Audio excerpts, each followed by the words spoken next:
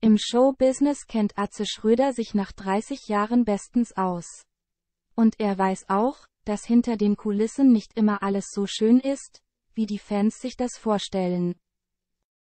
Mittlerweile steht Atze Schröder schon seit über 30 Jahren im Rampenlicht.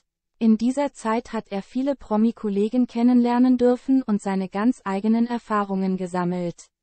Leider waren diese nicht immer nur positiv. In einem Interview verrät der Komiker nun, dass sich im Showbusiness manchmal auch ganz schön tiefe Abgründe auftun können. Atze Schröder, die Branche hat tiefe Abgründe.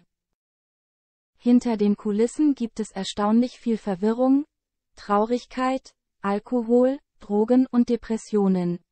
Ich kenne eine Menge unglücklicher prominenter Menschen und habe schon viele Abstürze miterlebt.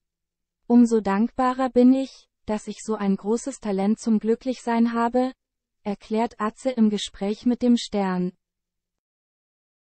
Zwar sprechen einige Promis über ihre Depressionen, doch es gibt auch viele, die damit nicht an die Öffentlichkeit gehen wollen. Das ist wirklich ein großes Thema. Und es gibt auch viel Neid und Missgunst, weiß der 58-Jährige. Auf dem roten Teppich und der Kamera tun die meisten gerne so, als würden sie alle Kolleginnen und Kollegen lieben, aber hinter dem Rücken werden dann die Messer gewetzt. Da freut man sich heimlich diebisch über jeden Shitstorm, den der andere erntet. Gegenseitige Unterstützung habe ich dagegen nur selten erlebt. Auweia.